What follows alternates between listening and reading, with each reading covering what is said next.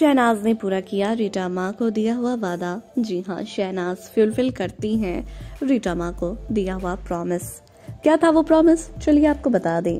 दोस्तों, जो रीटा माँ है, सिद्धार्थ के जाने के बाद आपको पता ही है कि शहनाज गिल को रीटा माँ कहती थी कि अब सिद्धार्थ का जो अधूरा काम है, वो तुझे करना है। जी हाँ।